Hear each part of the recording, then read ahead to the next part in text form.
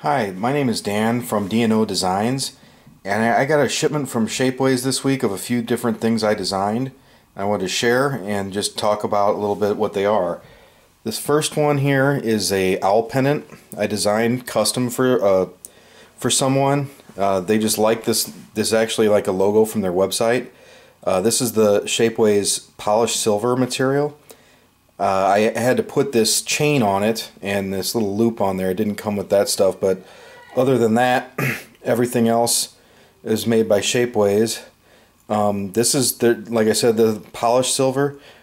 There's actually another level of polish above this. They're premium silver.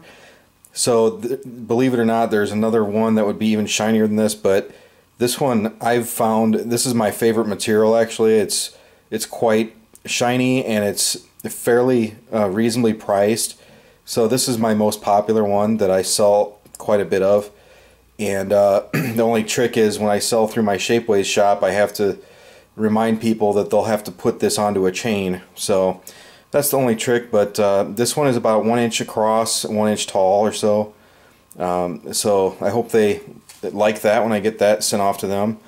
Next is this one I just did for fun. Uh, this is the time flying pendant is what I call it. It's an hourglass with bat wings and uh, just kind of a fun thing I did. It's uh, This is the black uh, strong and flexible material and you can see it's kind of got a rough finish to it or it almost looks fuzzy. I don't know how well it's coming across but it, it almost comes comes across fuzzy.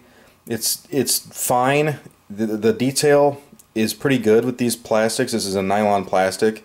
Um, and also I just kind of got this in plastic as a test run because it, it's their plastic materials are so inexpensive that it works good as a prototype. So now if I decide I want to get this in uh, steel or or silver or whatever, um, I'll know exactly what it's going to look like ahead of time. I do that a lot with rings and things like that also just to make sure that they're the right size because that's been a challenge in the past.